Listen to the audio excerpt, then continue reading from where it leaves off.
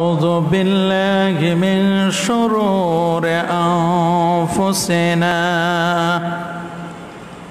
ومن سيئات أعمالنا. من يهده الله فلا مضل له ومن يضلله فلا هادي له.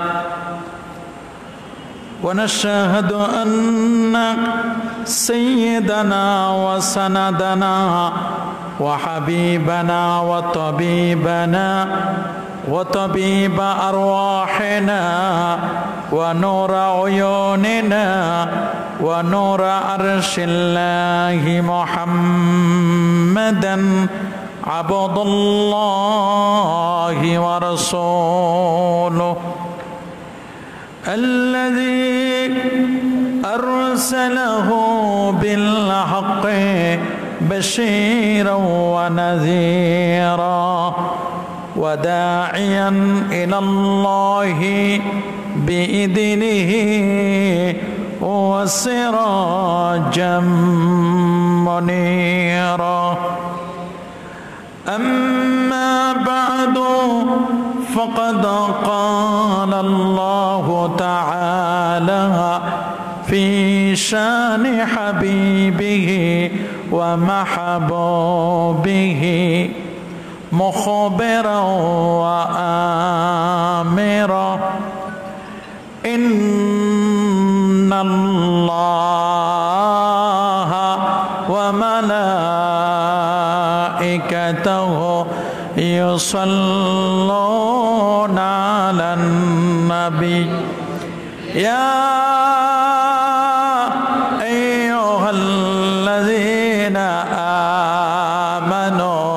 صلى عليه وسلم.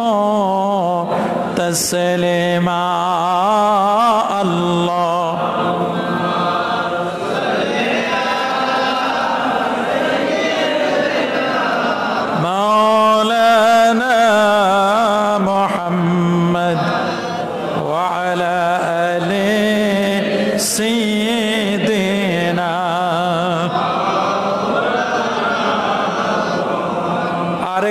জোরে জোরে মাহাব্বাতে পরন আল্লাহ।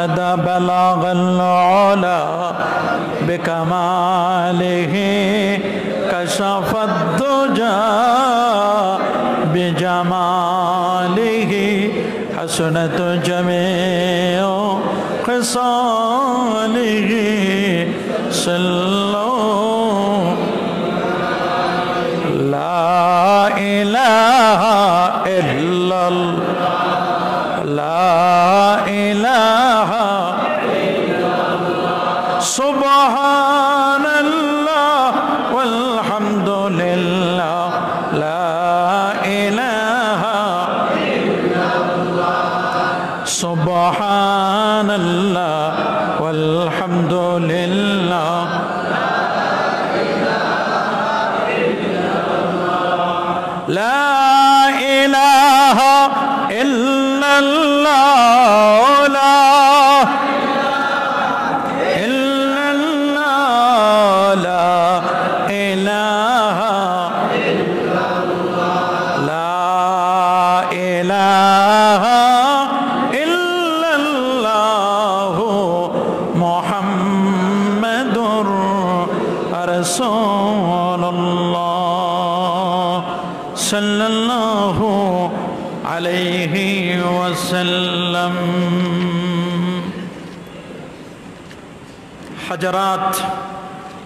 ওলামা কেরাম, ফুজালায় এজাম। আমরা সর্বপ্রথম আল্লাহ হরব্বুল ইসাদ ওয়াল জালাল তার দরবারে হৃদয়ের সবটুকুন আবেগ আর অনুভূতিকে উজাড় করে, সবটুকুন শ্রদ্ধাকে একত্রিত করে শুক্রিয়া আদায় করছি সে মহান মালিকের, যিনি ওই বিশাল আকাশের মালিক।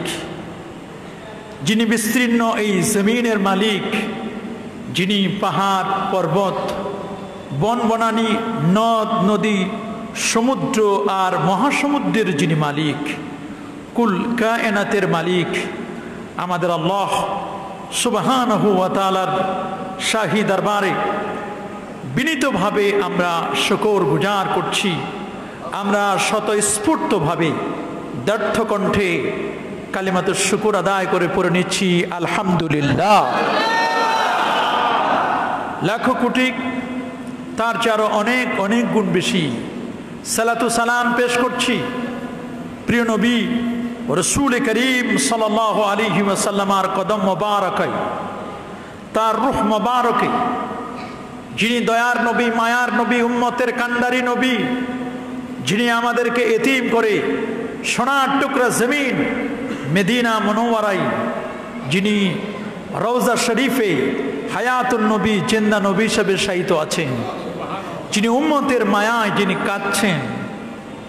যে নবী ইচ্ছে করলে উপরে যেতে পারতেন আর সে যেতে পারতেন। উম্মতের মায়ায় যে নবী জমিনে রয়ে গেলেন, সে নবীর উম্মত হবার সৌভাগ্য আমাদের নসিব হয়েছে। আসুন, আরেকটি বার শুক্রিয়া আদায় করে পড়ে আলহামদুলিল্লাহ। প্রিয় শুধুই গত জুমায় আমরা আলোচনা করেছিলাম শানে সাহাবা। সাহাবা একরামের ফজিলত সাহাবা একরামের ভালোবাসা সাহাবা একরামদের ত্যাগ তিতিক্ষা, তাদের জীবন উৎসর্গ নবীর জন্য, আল্লাহর জন্য এবং রক্ত ঝরা ইসলামের জন্য। তাদেরকে ইসলামের আইডল বলা হয়, তাদেরকে বলা হয় ইসলামের মডেল। আমাদের এই প্রিয় মাতৃভূমি বাংলাদেশেও কিছু কিছু গবেষণায় পাওয়া যায়, আমাদের এই সুন্দর সবুজ শ্যামল, পদ্মা, মেঘনা, যমুনা, কর্ণফুলী নদী সহ অসংখ্য নদীর দেশ আমাদের এই প্রিয় মাতৃভূমি বাংলাদেশ, এদেশেও সাহাবা একরামের শুভাগমন ঘটেছিল। আল্লাহ নবীর যুগে আমাদের এই হিন্দুস্তান, এই বরেন্দ্র ভূমি আমাদের এই ভারত, বাংলাদেশ, এটির কথা নবীর যুগে আলোচনা হয়েছিল। হজরত ওমর ইবনুল খাত্তাব রাদিয়াল্লাহু তাআলার যুগেও এই দেশটি নিয়ে আলোচনা হয়েছিল। হজরত উসমান রাদিয়াল্লাহু তাআলার যুগেও আলোচনা হয়েছিল। কিন্তু সুযোগ হতবা হয় নাই। সেই সময় কোনো বাহিনী প্রেরণ করার। কিন্তু একটি বর্ণনা এসেছে যে আল্লাহ নবীর জন্ম পাঁচশো সত্তর খ্রিস্টাব্দে বারাই রবিউল আউ্য়াল। তার পঞ্চাশ বছর পরে ছয়শো বিশ খ্রিস্টাব্দে আমাদের এই বাংলাদেশের উত্তরের একটি জেলা লালমনিরহাট। কি নাম? সেই লালমনির হাটের সেখানের একটি হারানো মসজিদ, সেই মসজিদের প্রাপ্ত শিলালিপি এবং দেশি বিদেশি প্রত্নতত্ত্ববিদ যারা রয়েছেন, আর্কিওলজিস্ট, তাদের গবেষণা অনুযায়ী দেখা যায় যে সেই লালমনিরহাট জেলার পঞ্চগ্রাম ইউনিয়নের মজেদের আরা নামক গ্রামে একটি গা এবি মসজিদ পাওয়া গেছে।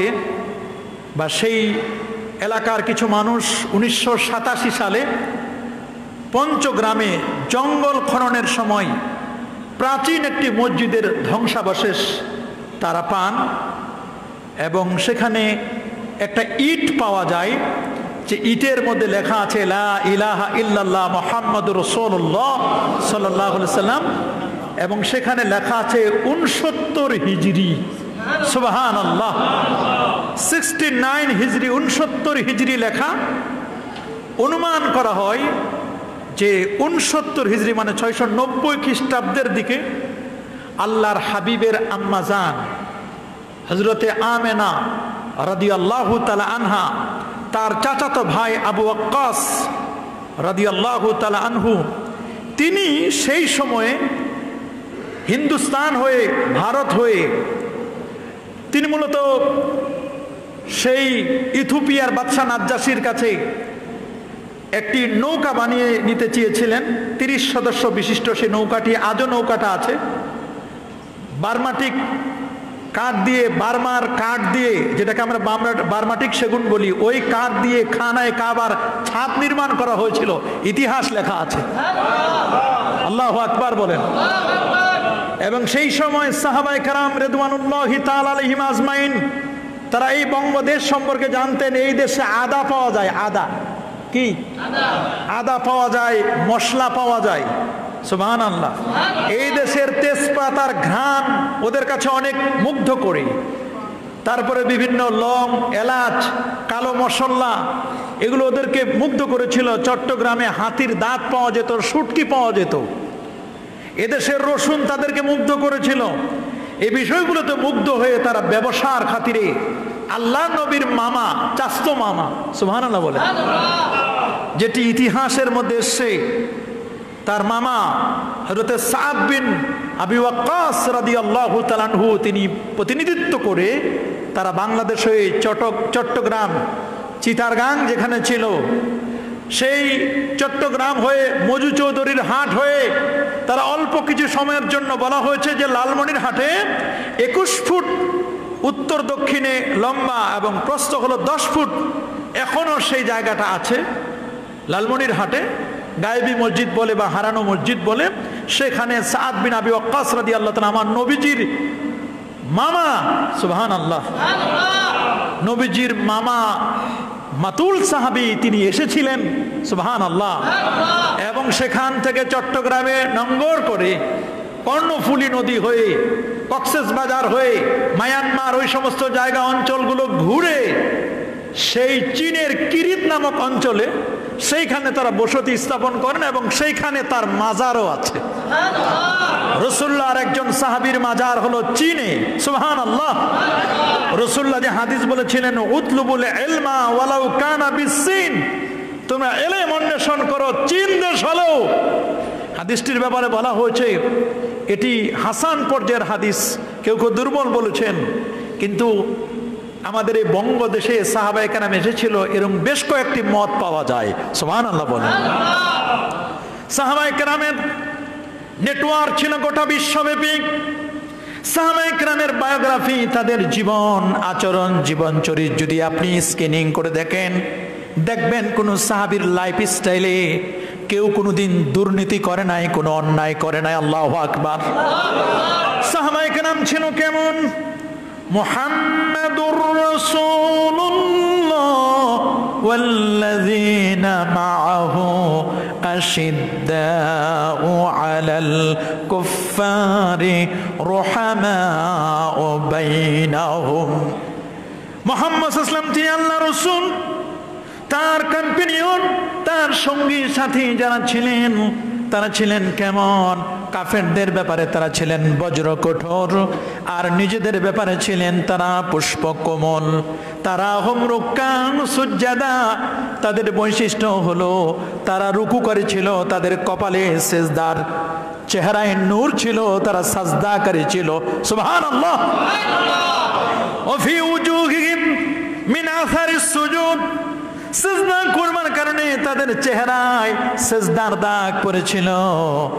এরা ছিল নবীর সাহাবি। সাহাবাই কেরামের দল যেমন এসেছিল, ভারতে যেমন এসেছিল, বাংলাদেশে তাবিরাও এসেছিল। তিনজন তাবির কথা বলা হয়।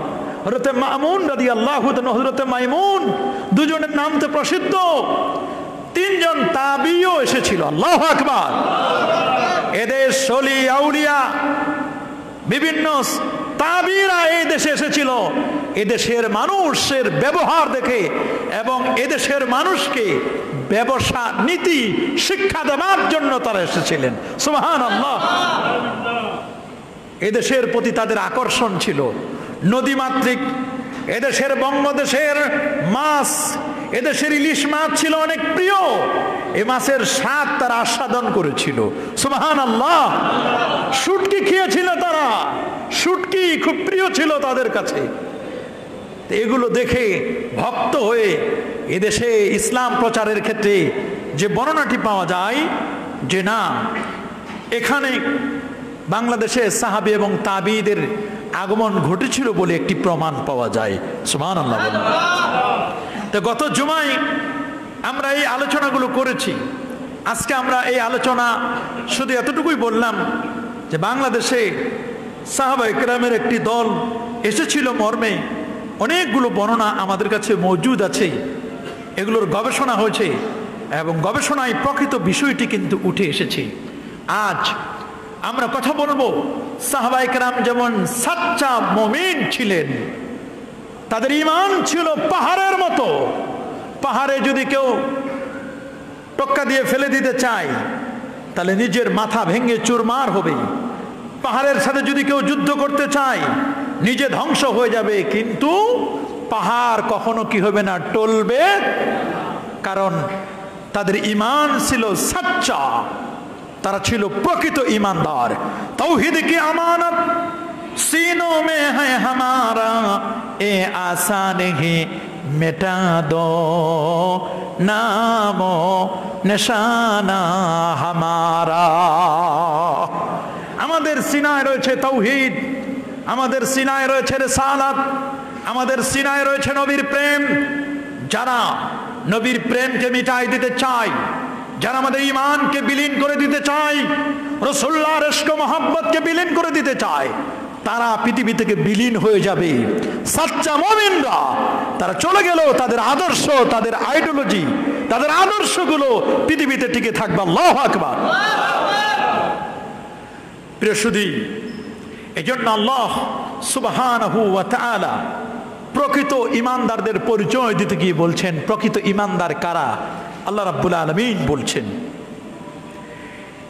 إنما المؤمنون الذين إذا ذكر الله وجلت قلوبهم وإذا تليت عليهم آياته زادتهم إيمانا وعلى ربهم يتوكلون سبحان الله আল্লাহ রাব্বুল আলামিন কে ঈমানদার প্রকৃত মুমিন কারা তার পরিচয় দিতে গিয়ে বলছেন ইন্নামাল মুমিনুনা নিশ্চয়ই প্রকৃত ইমানদার হচ্ছে তারা আল্লাযীনা ইযা যুকিরাল্লাহ, যখন আল্লাহ পাকের জিকির করা হবে, ওয়াজিলাত কুলুবুহুম, আই তাদের অন্তরগুলো প্রকম্পিত হবে, কেঁপে উঠবে। সুবহানাল্লাহ। প্রকৃত ইমানদার জানা আল্লাহর জিকির যখন তাদের সামনে করা হয়, তাদের হৃদয়গুলো কেঁপে উঠে। তাদের হৃদয়গুলো কি হয়? ইন্নামাল মুমিনুন মুমিন কারা? আল্লাযীনা। ইযা যুকিরাল্লাহ। যখন আল্লাহ পাকের জিকির করা হয়, ওয়াজিলাত কুলুবুহুম, তাদের হৃদয়গুলো কেঁপে উঠে আমরা আল্লাহর জিকির শুনলে আমাদের হৃদয় কাঁপে না? কি বলেন, কাঁপে কি কাঁপে না? হৃদয়গুলো আমাদের কেঁপে উঠবে। কিন্তু দুঃখজনক হলেও সত্য, যে এখন জিকির নিয়ে যে কত ধরনের মস্কারি চলে, তার তো কোনো শেষ নাই। কথা বলুন। জিকির, আল্লাহ বলেন, ফাযকুরুনি আযকুরুকুম। তোমরা আমার জিকির করো, আমাকে স্মরণ করো। আমি আল্লাহ তোমাদেরকে স্মরণ করব। হাদিস শরীফে রাসূল বলেছেন, আফজালুদ যিকরে লা ইলাহা ইল্লাল্লাহ। সর্বোত্তম জিকির হলো, লা ইলাহা আল্লাহ ছাড়া কোনো মাবুদ এটা হলো সর্বোত্তম জিকির। এটা উত্তম জিকির। রসুল বলেছেন আহাব্বুল কালাম ইলাল্লাহি আরবা আল্লাহর কাছে প্রিয় কথা হচ্ছে প্রিয় বাক্য হচ্ছে চারটি। কয়টি বাবা? সবাই বলুন আল্লাহর কাছে প্রিয় বাক্য কয়টি? প্রথম আলহামদুলিল্লাহ। প্রথম কি? ওয়াসানি দ্বিতীয় হচ্ছে আল্লাহ আকবার। তিন নম্বর হচ্ছে সুবাহান আল্লাহ চার নম্বর হচ্ছে লা ইলাহা আল্লাহর কাছে প্রিয়। সুবহান কিন্তু জিকির, আমাদের দেশের যারা জিকির বিরোধী, কিছু সালাফি লামাজহাবি আমাদের কিছু বন্ধু, এরা সালাফ, এরা এখন ওয়াহাবি নাম দিয়ে তারা বলেন, জিকির বলতে কিছুই নাই। জিকিরকে তারা উড়াই দিচ্ছে বলে নামাজেই জিকির, রোজাই জিকির, হজেই জিকির। তাফেই জিকির, কোরআন তেলাওয়াত জিকির। এক্সট্রা, আলাদা। সকাল সন্ধ্যায় জিকির, এগুলোকে তারা বিশ্বাস করে। বলে নামাজেই তো জিকির, তারা এরকম বলছে। আবার কিছু পীর, ভালো হকানি পীর যারা আছেন, তারা তো সকাল সন্ধ্যা জিকির করেন। সুন্নত তরিকা অনুযায়ী জিকির করেন আউলি কেরামের তরিকা মস্ক করেন। লা ইলাহা ইল্লাল্লাহ, এক জোরবি জিকির, দুই জোরবি জিকির, পাঁচে আন পাঁচ জিকির, শ্বাস প্রশ্বাসের জিকির, এই জিকির তো করেন। আবার এই সুবাদে একদল ভণ্ড, বিদাতি ফকির, এরাও কিন্তু আছে। এদের জিকিরের স্টাইল আবার ভিন্ন, এরা খালি হু হু হু। আছে না এরকম? আসলে যে কি আল্লাহ নামটা নিচ্ছে, এটা বোঝা যায় না। তাই হু, হা কি যে বলে? এটা না কোনো অর্থ আছে, এটা না কোনো মিনিংস আছে, না কোরআন এটাকে সমর্থন করে, না নবীর কোনো সুন্না সমর্থন করে। নিজেদের মন মতো বানানো জিকির। কথা বলেন ঠিক না আবার এই সুবাদে একদল বলে, আল্লাহ আল্লাহ, জিকির করাও যাবে না, এরকম বলে। নাউজুবিল্লাহ। অথচ পবিত্র কোরআনুল কালিমে আল্লাহ বলছেন ফাযকুর ইসমা রাব্বিক। হে রাসূল, আপনি আপনার রবের নামের জিকির করুন। কার নামের জিকির?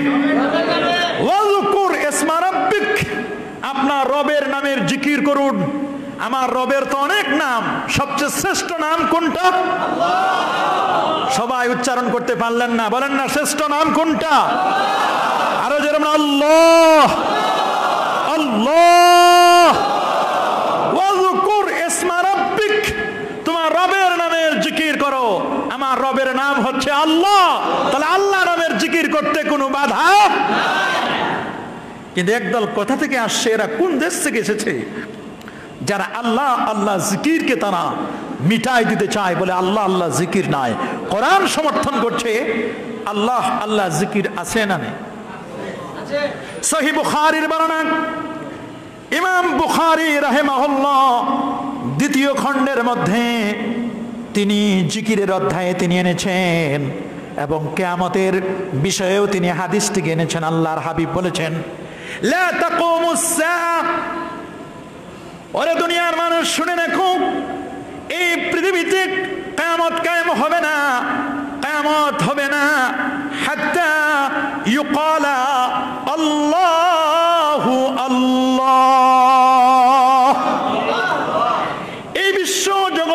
আল্লাহ না ধ্বংস হবে না হবে না হবে না। যতক্ষণ পর্যন্ত পৃথিবীর একটি মানুষ থাকবে, আল্লাহকে আল্লাহ আল্লাহ বলে ডাকবে, ততক্ষণ পর্যন্ত পৃথিবীতে কামত কায়েম হবে না। কিন্তু দুঃখজনক হল সত্য, আমাদের মতো লেবাস পোশাক পরে মসজিদের মেম্বারে দাঁড়াইয়া মাইকের সামনে সুন্দর করে বক্তব্য দিচ্ছে, এত সালে কেমত হবে, এত সালে কেমত হবে। কামতের জ্ঞান একমাত্র জানেন আমার আল্লাহ। রসুল্লাহকে যখন প্রশ্ন করা হলো হাদিসের জিবরিলের মধ্যে, মাতাসা, ইয়া হুজুর কেমত কখন হবে? আতাদ্রি রসুলকে জিজ্ঞেস করা হলো, হুজুর কেমত কখন হবে? রসুল বলছেন, যে যাকে প্রশ্ন করা হয়েছে, মাল মাসউল আনহু। بأعلم من السائل. প্রশ্নকারীর যে প্রশ্নকর্তা, যাকে প্রশ্ন করা হয়েছে, তিনি বেশি জানেন না। যিনি প্রশ্ন করেছেন মানে জিব্রাইলের সে তার মানে জিব্রাইলও জানেন না, নবীও জানেন না। কেয়ামত কবে হবে, জানেন কে? আল্লাহ আল্লাহ জানেন কবে হবে। আমরা তো ডেট দিয়ে দিই, দুই হাজার বত্রিশ সালে কেমত হবে, অমুক সালে কেমত হবে, অমুক বছর মাহাদি ইমাম মাহাদি আসবে, অমুক বছর দাজ্জাল আসবে। কে কখন আসবে, জানে কে? যারা এরকম ডেট দেয়, মনে হয় আল্লাহর সাথে হটলাইন আছে। আরে বাবা কেমতের বিষয়টা জানে কে? আল্লাহ ভালো জানেন। তাহলে আল্লাহ আল্লাহ জিকির, এটি জায়েজ কিনা? নাকি না জায়েজ? অবশ্যই এই জিকির আমরা করব। অনেকেই জিকির করতে চায় না। আছে না এরকম অথচ পবিত্র কোরআনে আল্লাহ তালা জিকিরের কথা বলেন আমরা বারবার নামাজের মধ্যে তালাবাদ করি আল্লাহ বলছেন ما كان على النبي من حرج فيما فرض الله له سنة الله في الذين خلوا من قبل وكان أمر الله قدرا مقدورا. الذين يبلغون رسالات الله ويخشونه ولا يخشون أحدا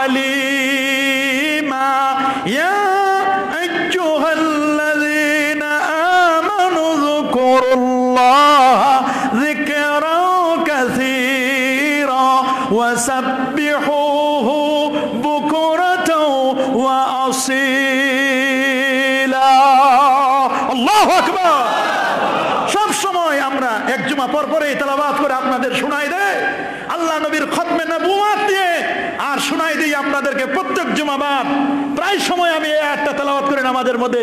হে ইমানদার বান্দাগল সকাল, সন্ধ্যা, তোমরা জিকির করো, বেশি বেশি জিকির। সুবাহান আল্লাহ জিকির হবে কার নামে? নাকি পীরের নামে? পীরের নামে কোনো জিকির নাই। অমুক পীর অমুক পীর, অমুক বাবা অমুক বাবা। বাবার নামে জিকির নয়, জিকির হবে আল্লাহর নামে। জিকির হবে কার নামে? আল্লাহ নামের জিকির, কোনো পীরের নামের জিকির নয়। জিকির হবে কার নামের অমুক বাবা কি করছে সেটা বাবার ব্যাপার তার বায়োগ্রাফি আলোচনা করবেন। কিন্তু জিকির হবে আল্লাহর নামের জিকির। কার নামের? আল্লাহ নামের জিকির হবে। হ্যাঁ নামাজ ও জিকির। আল্লাহ তালা বলছেন আকিম সলাত আলে দিকিরি। নামাজ পড়ো আমার স্মরণে। নামাজ হবে কার স্মরণে? ওয়ালা যিকরুল্লাহি আকবার। আল্লাহর জিকিরটাই হলো সবচেয়ে বড় জিকির। সুবহান আল্লাহ নামাজের জিকির, কোরআন তেলাওয়াত জিকির, ভালো কথা। কিন্তু প্রত্যেকটার স্বাদ আলাদা আলাদা। সুবহান আল্লাহ প্রত্যেকটার স্বাদ কি? আলাদা। সবার স্বাদ কিন্তু এক নয়। সবকিছুর স্বাদ কি এক? কি বাবা, সবকিছুর স্বাদ এক? আচ্ছা করল্লার স্বাদ। আর ভেন্ডি ভাজি যেটা আমরা খাই, ঢেঁড়স। এটার স্বাদ কি এক? মুখে দিলেই বুঝি না এটা করলে একটু তিতা তিতা লাগে। এটা ঢেঁড়স কিন্তু দিওটাই তো তরকারি। এবং তরকারি না এটা দরকারিও। এটা যেমন তরকারি তেমন কি? আলু আলুর আলু। অন্য ভারতীয় আলুগুলো বা বিদেশি আলুগুলো মুখে দিলেই তো বোঝা যায়। কথা বলেন ঠিকই না হাইব্রিড করল্লা আর দেশি করল্লাও বোঝা যায়। মুখে দিলেই বোঝা যায়, মাছ তো সবে মাছ। কিন্তু মাছের মধ্যে আবার ক্লাসিফিকেশন আছে না? এটা আপনাকে বুঝতে হবে, সবাই আল্লাহর স্মরণে।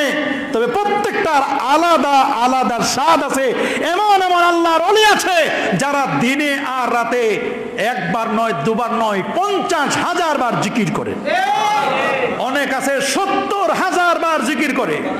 অনেকে আছে জিকির করতে করতে করতে শরীরের লোমকূপগুলো পর্যন্ত জিকির করে। আবার অনেকে জিকির করে রঙ্গিলা নামের জিকির। আছে না এরকম? কত ধরনের যে জিকির দেখবেন, জিকিরের কোনো শেষ নাই।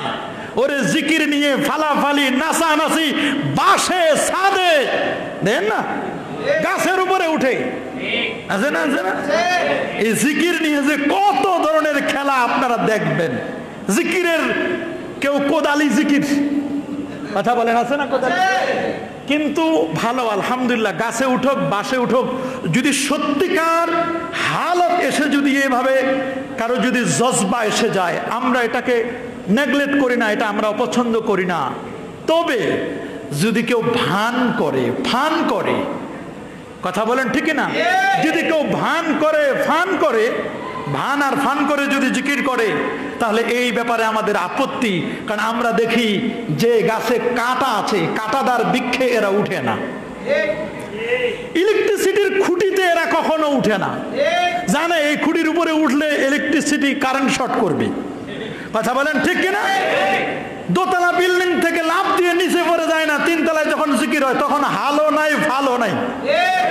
তাহলে বুঝতে হবে, ফি হে ফি। এখানে কথাই যেন গরমিল আছে। প্রকৃত আপনি জিকির করেন, জিকির করতে করতে আপনি ফানাফিল্লা হয়ে যান। হন কোনো আপত্তি নাই। রসুল বলেছেন তুমি অধিক পরিমাণে আল্লাহ পাকের করো। হাত্তা যাতে করে তোমাকে মানুষ পাগল বলে। বলো, আমি দুনিয়ার পাগল নয়, আমি পাগল কার? আমি আল্লাহর পাগল। এই জন্য আল্লাহ রব্বুল আলামিন বলছেন আলা বিযিকরিল্লাহি তাতমাইন্নুল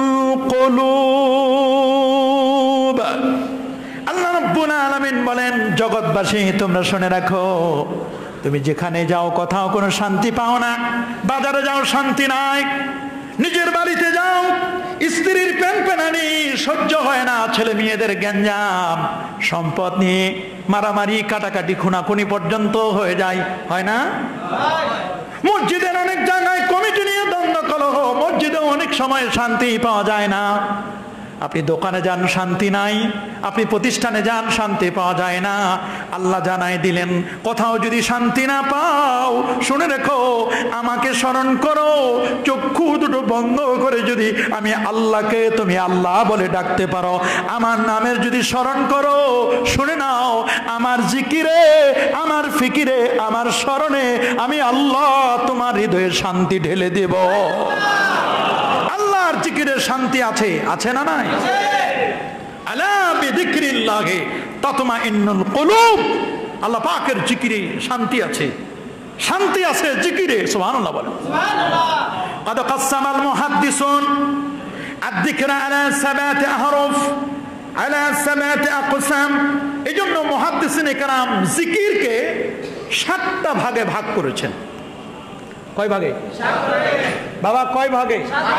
মানব দেহের অঙ্গ পতঙ্গগুলোর মধ্যেও তো সাতটা অঙ্গ ভাইরাল এবং সাতটা অঙ্গ বেশি ব্যবহার করা হয়। এই জন্য জিকিরটাকেও সাতটা ভাগে ভাগ করেছেন। সুমান বলেন। এক নম্বর হচ্ছে দিকরুল কাল কলবের জিকির।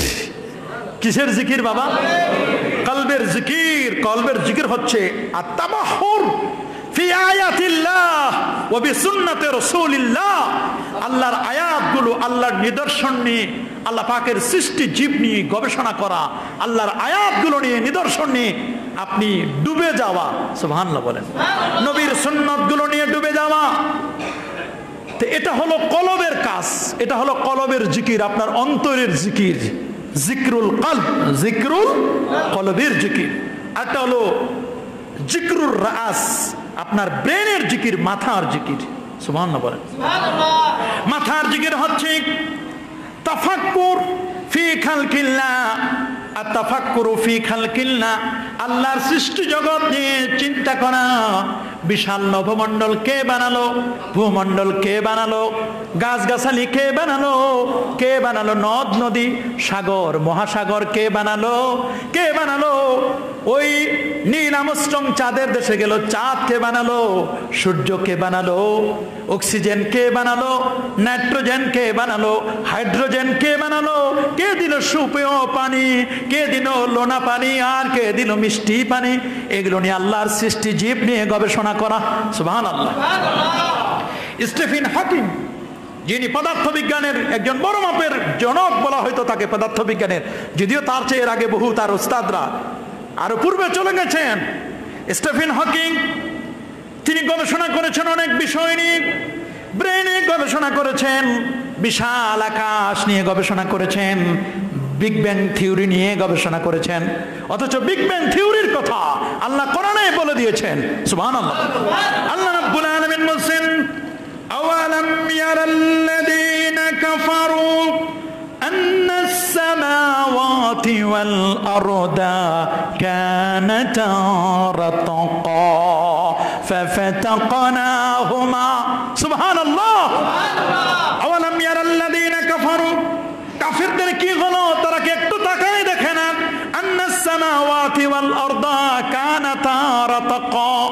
আসমান এবং জমিন সবগুলো পুঞ্জীভূত ছিল। আমি বাস্টিং করে দিলাম বড় বিস্ফোরণ করে দিলাম আর এটাই হচ্ছে তোমাদের বিগ ব্যাং থিওরি লাহ আকবার বলে আকাশ জমিন গ্রহ নক্ষত্র নেপচুন প্লুটো সব সৃষ্টি করলেন কে? এগুলো নিয়ে চিন্তা করা এগুলো নিয়ে তাফাক্কুর করা গবেষণা করা এটা ব্রেনের জিকির এটা মাথার জিকির। আর আমরা চিন্তা করি অন্যটা। আমরা ব্রেন দিয়ে চিন্তা করি কেমনে আরেকজনরে মারা যাবে। কথা বলেন ঠিক কিনা? আমরা ব্রেন দিয়ে চিন্তা করি, ওই লোকটা সমাজের মধ্যে ভালো চলতেছে, ফিরতেছে, খাইতেছে। ওটারে কেমনে দমন করা যাবে? কথা বলেন ঠিক কিনা? ওরে টেনে কেমনে নিচে নামানো যাবে? আমরা চিন্তা করি ব্রেন দিয়ে এটা। আর ব্রেনের জিকির বলা হচ্ছে আল্লাহ পাকের সৃষ্টি জগৎ নিয়ে গবেষণা করা, আল্লাহর সৃষ্টির বিশালতা। আল্লাহ তালা বলছেন এই পৃথিবীকে আমি আস্তে আস্তে করে এটা পর্যায়ক্রমে একদিনে নয় ছয় দিনে পৃথিবী সৃষ্টি করেছেন। বিশাল আকার জমিন এবং নবীজি এগুলো দেখে এসেছেন মিরাজের রাতে। নবী উম্মে হানের ঘর থেকে নিয়ে নবীজি বোরাক নামক জান্নাতি গাড়িতে চড়ে আল্লাহ নবী প্রথমে ইয়াসরিফ মদিনা মনোমারা এরপরে বেথেল হাম বাইতুল মুকাদ্দাস এরপরে আল্লাহর হাবিব সেখান থেকে নবীর সিনা চাক করে আল্লাহর নবী চন্দ্র, সূর্য, গ্রহ, নক্ষত্র, Neptune, Pluto, galaxy, Milky Way, নবমণ্ডল সবগুলো পাড়ি দিয়ে আমার নবী চলে গেলেন আরও উপরে, আরও পরে আরও উপরে। ক্রস করে নবীজি উপরে চলে গেলেন চলে গেলেন প্রথম আকাশ, দ্বিতীয়, তৃতীয়, চতুর্থ, পঞ্চম, ষষ্ঠ, সপ্তম আকাশে আট জন নবীর সাক্ষাৎ করে নবী চলে গেলেন সিদ্ধাতুল মুনতাহা।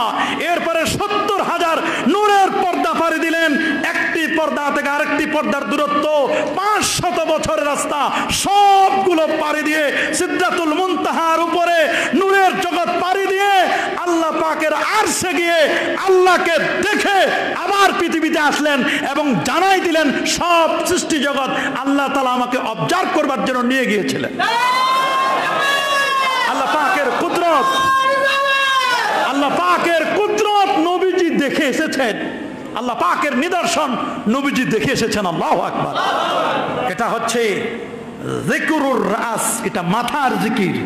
সুবহান আল্লাহ মাথা দিয়ে আপনি জিকির করবেন, ফিকির করবেন, গবেষণা করবেন, তাফাক্কুর করবেন। তিন নম্বর হচ্ছে জিকরুল কানের জিকির। কানের জিকির হলো, দুই কানের জিকির হলো, ইস্তিমাউল কোরআন আল্লাহর কোরআন এবং নবীজির সন্নাগুলো এগুলো কান দিয়ে শুধু এক কানে শুনব আর এক কান দিয়ে বের করব তা নয়। এক কানে শুনব, এ কানে শুনে বাম কান দিয়ে বের করব না। বরং যা আমি শুনব, শোনার সাথে সাথে এটার প্রতি বিশ্বাস যেমন থাকবে, এটা আমার লাইফ স্টাইলে আমি এটাকে আমলে আনব।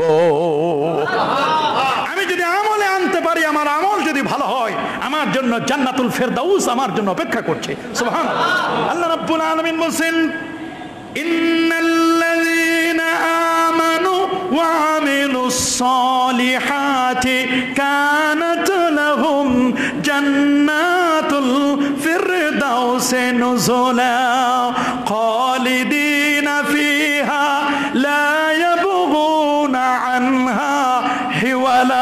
আল্লাহু আকবার। জান্নাতুল ফেরদাউস তাদের জন্য অপেক্ষা করছে। যারা ইন্নাল্লাযীনা আমানু ওয়া আমিলুস সালিহাত, যারা নেক আমল করেছে আর যারা ঈমান এনেছে, এই দুই সম্বলের কারণে আল্লাহ তাদেরকে জান্নাতুল ফেরদাউসের মেহমান বানাবেন। আল্লাহু আকবার। তাহলে আমরা কানে শুনব কি? কোরআন এবং শুননা ভালো জিনিস শুনব আমরা কিন্তু আমরা কানে শুনি ডিজে গান। ডিজে পার্টি দেখেন না? আবার একদল আছে জিকিরের টাকে ডিজে ডিজি জিকিরও বানাই দিয়েছে। আছে না আছে না?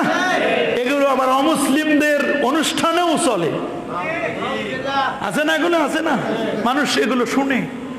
অবাক লাগে ডিজে গান ডিজে পার্টি গান বাদ্য ঢোল তবলা এই কান দিয়ে আমরা শুনব না। সাহাবাই কালাম রেদওয়ানুল্লাহ তালালিম আজমাইন এবং নবীজি ইসলাম হজরত আউবকর হজরত ওমর হজরত উসমান সাহাবাই কালাম গান শুনলে, বাদ্য শুনলে, কানের মধ্যে আঙ্গুল ঢুকাই দিতেন যাতে করে না শুনতে পারে। আর আমার দেশের যুবক, আবার কিছু নামধারী আলেমও আছে, তারা বলে ওই গানটা শিখার জন্য, মানুষকে শিখানোর জন্য কানের মধ্যে এক্সক্লুসিভ মিউজিক লাগাই দিয়ে হেডফোন লাগাই দিয়ে, তারা কানে আঙ্গুল ঢুকা দিতেন যেন আওয়াজ না আসে, আর আওয়াজ নেওয়ার জন্য তারা হেডফোন লাগাই দেয়। জোরে বলেন না এখন বিজ্ঞানীরা প্রমাণ করে দেখছে যে সেই দিন আর বেশি দিন নয়, অল্প দিনের মধ্যেই পৃথিবীর মানুষের কান শ্রবণ শক্তি প্রায় তিরিশ পার্সেন্ট শতকরা হারিয়ে ফেলছে। এখন আর শুনে না। দেখেন না, মাঝে মধ্যে গাড়ির হর্ন দিলেও শুনতে চায় না। গাড়ি যখন এসে লাগাই দেয়, তারপর উল্টে দেখে, ভাই, কি হয়েছে বলে, মিয়া, কতক্ষণ ধরে হর্ন দিচ্ছি, বুঝেন না?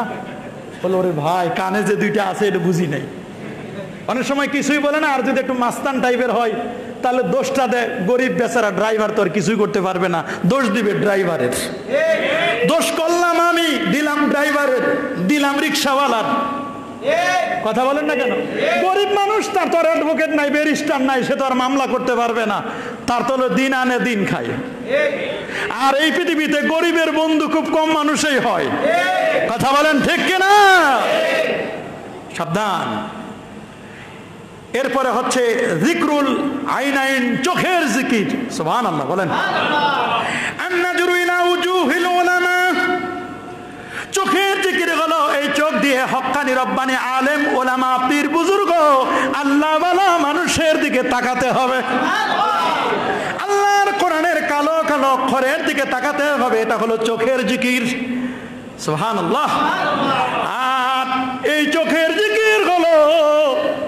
যদি মা বেঁচে থাকে রে, বাবা যদি বেঁচে থাকে এই নিয়ামত, আপনি তাকায় থাকবেন, তাকানোর সাথে সাথে আল্লাহ রব্বুল আলমিন আপনাকে এই নজরে নজরে আল্লাহ সবাব দিবে।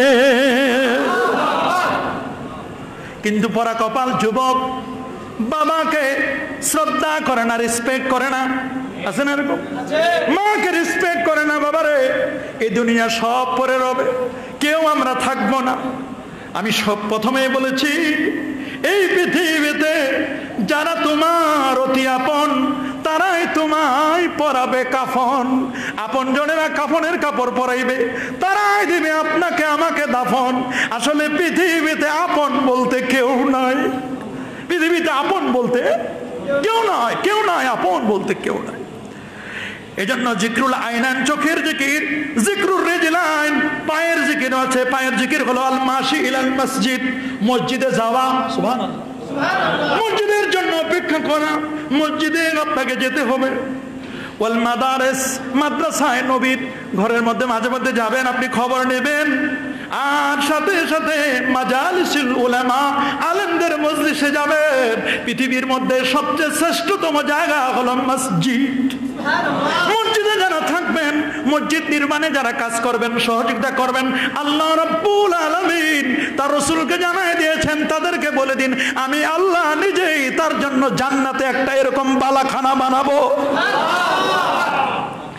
এটা জিক্রুর রিজিলাইন জিক্রুল লেসান আর তালাফুজ বে কালিমাতি তৈয়বা। আপনার জিহবার জিকির হলো কালেমে তৈবা আলা ইলাহা ইল্লাল্লাহ মুহাম্মদুর রাসূলুল্লাহ এটা উচ্চারণ করা। কিন্তু যারা বলে কলেমার মধ্যে সেরেক আছে এরকম একদল ফোরা কপালে তো বেরোয়েছে ওই কলেমাই তো সেরেক নওজুবিল্লাহ আমাদের কলেমায় কি কোনো শিরক আছে? না আমাদের কলেমা লা ইলাহা মুহাম্মাদুর রাসূলুল্লাহ সাল্লাল্লাহু আল্লাহ পাকের আরশের খুঁটিতেও কলেমা লেখা। হাতের জিকির জিক্রুল ইয়াদাইন। দুই হাতের জিকির হলো ওয়াদুল আকুফে আলাল আকুফে ফি সালাত। ডান হাত দিয়ে বাম হাত ধরে নাভির নিচে রাখা এটা হলো হাতের জিকির। হ্যান্ডকাপ আল্লাহর সামনে দাঁড়াইছি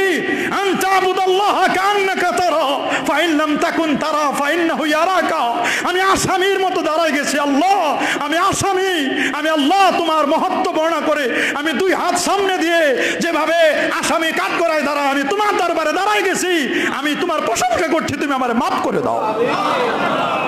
এটা আপনি করতে পারবেন, এটা হলো জিক্রুল ইয়াদাইন, আপনার দুই হাতের জিকির, সুবহানাল্লাহ। এখন হাত বাঁধা নিয়ে ইমামদের মধ্যে দ্বন্দ্ব নাই। দ্বন্দ্ব হলো আমাদের মধ্যে।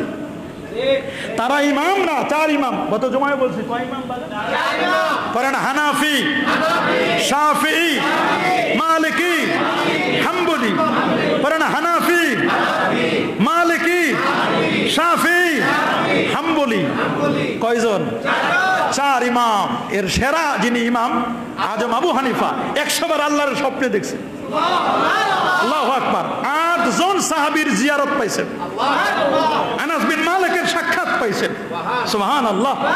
তার যে কত ইমাম ইমাম দারিল হিজরা ছিলেন। মদিনার বহু বছর মদিনা ইমাম তিনি।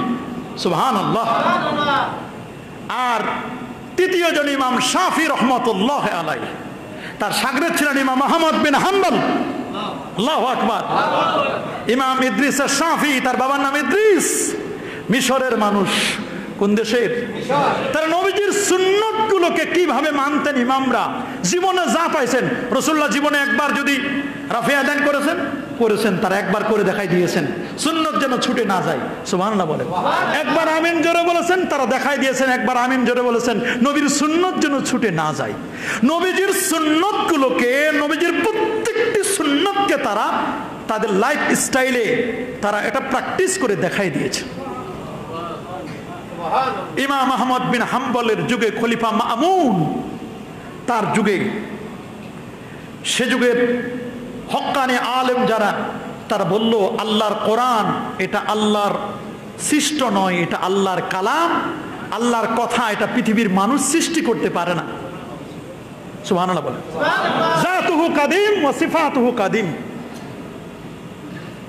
কিন্তু কিছু চটকদার আলেম, চাটুকার আলেম, ওই দেশের সরকারি আলেম, থাকে না প্রত্যেক যুগে?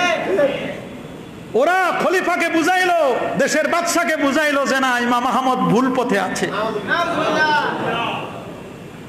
তাকে গ্রেপ্তার করে নিয়ে গেলেন জেলখানায়। সানন্দে ইমাম আহমদ বিন হাম্বল সাড়ে বারো লক্ষ হাদিসের হাফেজ। মুসনাদে আহমদ বিশাল ভৈলম চল্লিশ হাজার হাদিসের কিতাব। চল্লিশ, বিয়াল্লিশ হাজারের মতো হাদিস। আমি মিশরে এবার লাইব্রেরিতে এবার বই মেলায় অর্ডার দিয়েছি। চলে আসতে আসতে বলছে জাহাজে আসতে দুই মাস সময় লাগবে। দুই মাস পরে আমার কাছে এই কিতাবটা এসে পৌঁছবে বিশাল ভৈলমের পঞ্চান্ন খণ্ড এ তাক দিলে এত বড় হবে। আল্লাহ আকবার বলেন। বলছে, প্যাকেট করা হয়েছে কন্টেনারে উঠাই দেব, কিতাব আসবে।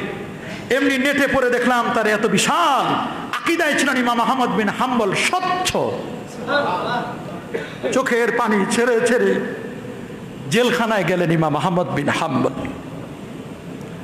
ওই যুগে তার উস্তাদ ইমাম শাফি, তিনি মিশরের বরমাপের পণ্ডিত। ইমাম শাফি রহমতুল্লাহ মস্ত একজন আল্লাহর উলি যার নামে শাফি মজহা ইমাম শাফি ঘুমায় রইলেন। ঘুমের মধ্যে আল্লাহ নবী স্বপ্নে দেখাচ্ছেন, ইমাম শাফিকে ইমাম শাফি।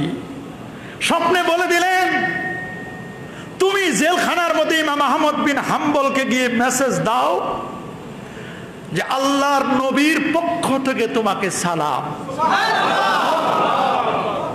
তুমি জেলখানায় গিয়ে তোমার আকিদাকে ঠিক রেখেছো। কোরআন আল্লাহর কালাম মানুষের বানানো নয়।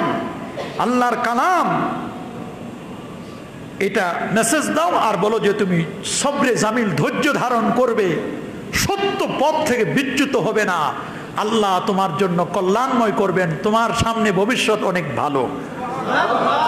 তোমার জীবনটাও হলো নূর, আলো, আর মরার পরে তোমার মৃত্যুটা হলো আনোয়ার, তোমার কবর হলো আনোয়ার, নূরের সমারোহ।